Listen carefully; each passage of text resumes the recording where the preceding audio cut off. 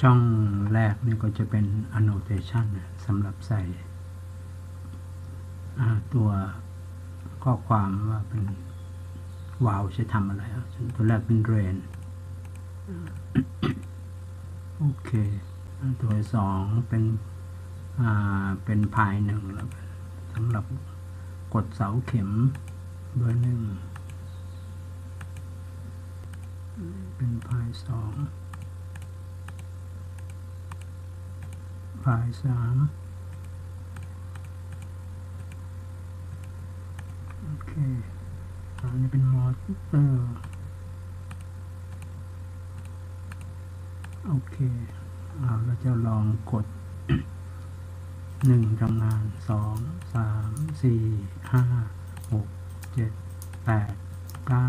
สิบสิบเอ็ดสิบสองสิบสามสิบสี่สิบห้าสิบหก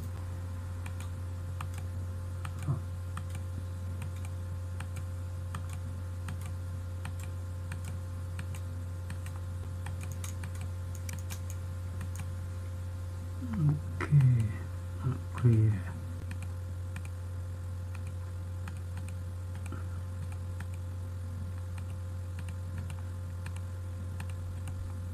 อเค